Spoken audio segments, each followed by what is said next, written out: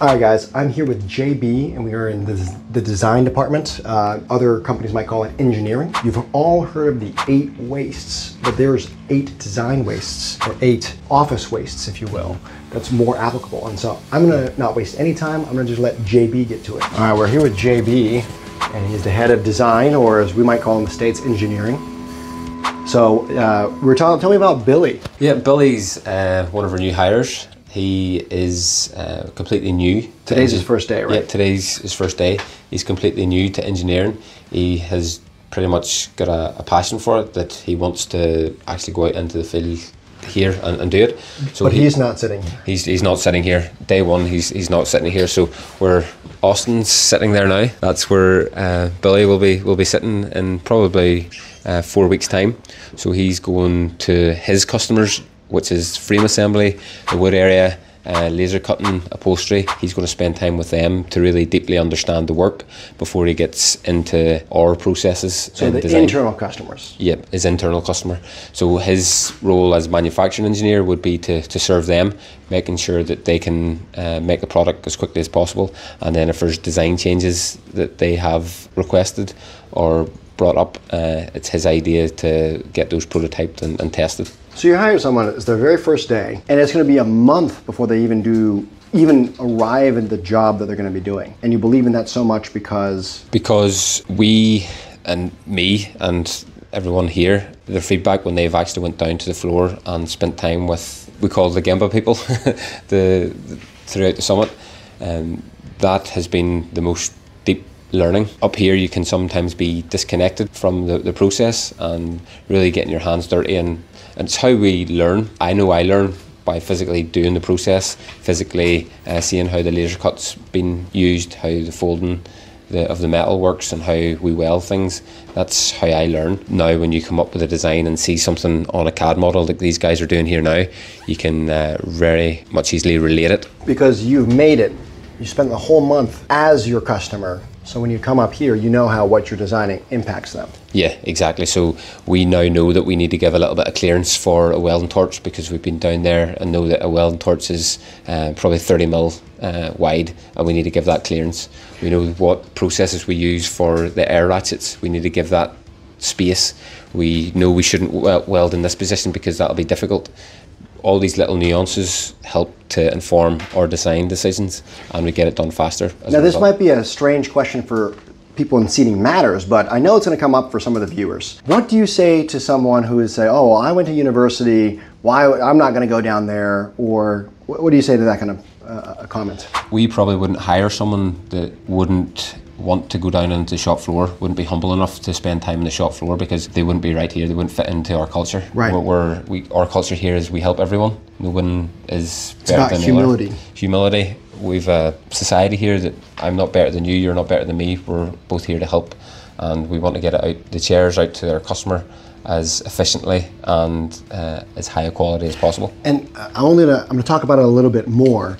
And this is because as you were describing it, my first instinct from what most other people maybe watching this video might think is, man, I wish my engineering department would do that. You have a cultural problem. It's your fault as the owner or leader, and you need to rectify that. And if you have those people that are in the engineering department, that maybe they've been there for 40 years, and, oh, I did that back in the day, I'm not going to do it. I don't think that would ever fly in any of the exceptional companies, including this one um, that are out there. And it's about starting with the people. Now, if you had someone, you might try to retrain. I mean, I would probably start with retraining. But this is a mature culture. Wherever you're starting, you'll probably have to go back in time and, and try to retrain the importance of it, right? Because, you know, super quick, super smart people often feel like the work is below them. And that's not right. I mean, that's the whole Toyota way. Go to the Gemba. Mm-hmm. You're going to learn the most. The workplace as a teacher. Yeah, Gamba, Gamba, Gamba, Gamba, Gamba. Like we heard it countless times uh, over the, the past week. And um, yeah, that's where uh, specifically designers sh- should be. And even people in our accounts and um, the office would come out and train on the shop floor just so that they know the product deeply. Right, if you're a customer service and someone calls in about a problem all the time, maybe go to where that product's being made so you have an understanding. Yeah, exactly. Um, myself, my own experience, I've been in every process um, in the factory, and uh, I have a real deep understanding of the product, and then because of that, uh, I can help the customer with pretty much any query that comes up. And is there anything else you'd have for the viewers that uh, you'd want them to take away from visiting your department? I think one of the big ones uh, that me and you uh, spoke about were that in design, our wastes are not exactly aligned with uh, the eight ways of uh, Toyota production system because we're not uh, spending time doing repetitive tasks uh, on the shop floor. The guys here are being creative. Their value is when they come up with a really good idea. So we want to create the environment in here where they can thrive uh, and come up with those creative ideas. So, real quick, so you're saying there's, there's the standard eight wastes, which everyone should know, which is so Darren over there, he's reaching forward for his mouse, that's a motion waste. Mm-hmm. Then he's moving his mouse around the screen, that's transportation and motion waste. Mm-hmm. You're saying it's great for Darren to know that. However, that's not where most of the time is wasted. Now, what if Darren makes a mistake? Let's say there's something that's out of spec. What kind of waste is that? Translate over to? Out of spec in terms of? Uh, something that actually makes it to production and it's incorrect. Yeah, so that would be a, a communication problem. So we have a communication waste where we probably how that would have came about was I haven't communicated correctly to Darren what the customer needs, what this prototype needs, and then that has eventually got to, to the customer. So you have six project waste. What, what are those? Uh, so if you want to come in here, I'll show them exactly. We'll speak right. a little bit on those. So under communication is is huge. So we could spend um, a lot of time fixing our, our motion waste, but really, if we don't communicate well enough, the amount of waste that can be uh, generated downstream of design is huge. We say in design, this is where all the waste is generated, and if we adhere to all these um, and reduce them as much as possible, the, the waste that can be prevented is, is huge. Another one is underutilization of software. So we use very intelligent systems, um, SolidWorks, uh, PDM, AlphaCam, these systems that um, produce the information for, for factory and they're very, very intuitive. And if you don't uh, keep to the latest version or you don't delve in and try new things in these software, you'll you'll never get to utilize them enough. So what we do is we always keep the most up to date version. We train on the software once a week so that we're really getting the best of it. So we can have a design that maybe duplicates uh, itself because we've learned of a new function on SolidWorks and then we tie that into Stream Deck uh, so that we can uh, utilize software over complexity. So this one came from a book that we read uh, on Apple, Insanely Simple. I would highly recommend.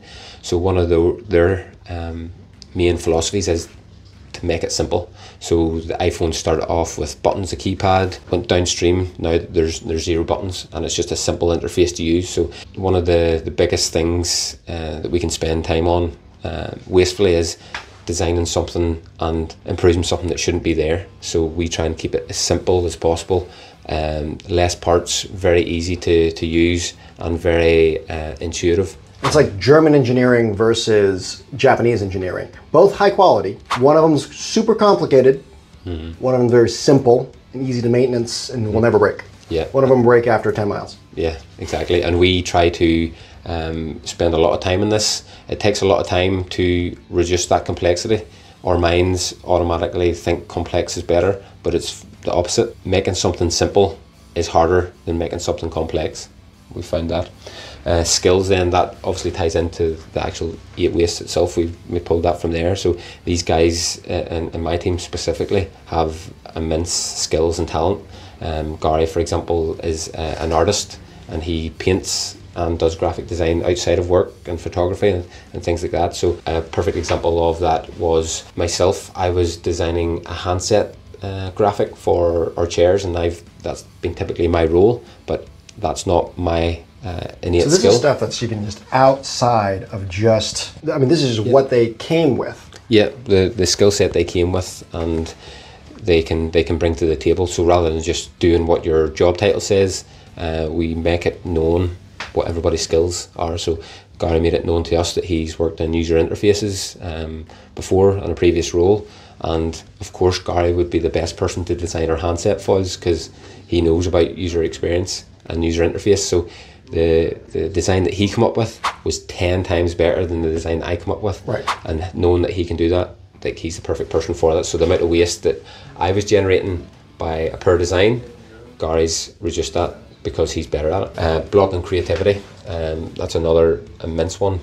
I said before that our value in design is when we're creating a product, creating uh, change in a design, and you want people to come up with these good ideas. So we need to create an environment where that can happen.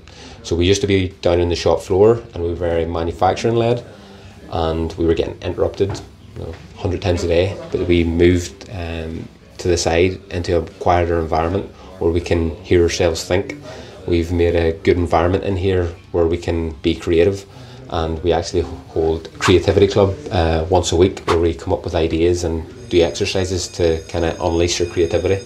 Um, that's that's a massive one. And then delayed feedback in design projects that's huge. Typically, you would design a product, you would send it out to the customer, and you wouldn't hear back in for for a long time. But when you're waiting on that feedback, the project stops. So what we do is we consistently uh, send uh, information on the project live when we're doing it via WhatsApp, and get feedback straight away so that we're not coming to the end of a project and getting 100 pieces of feedback. We're, really doing one piece flow in terms of communication and, and project feed, feedback. And when we're designing a new chair, from design concept to build, then we're, our process is typically six months, whereas normal companies is about a year. So because we've highlighted that delayed feedback is a waste, then we can we can do things faster and we make people aware of this we I, sometimes I would send a picture of this waste to someone who hasn't got back to me and says you're holding up this project be very crucial about it it's the same as uh, someone holding up uh, something in a production line uh, we're sitting here uh, folding our arms and uh, we're not getting anything done when the feedback isn't getting there on time Wow, that's huge. Guys, I'm interrupting this video because I have an announcement. I've got merch coming down the pipe. So by the time you're watching this, maybe it's already here. And I've just created the membership section. You can have some cool emojis or GIFs. Check it out down below. I also have a link to my Patreon below.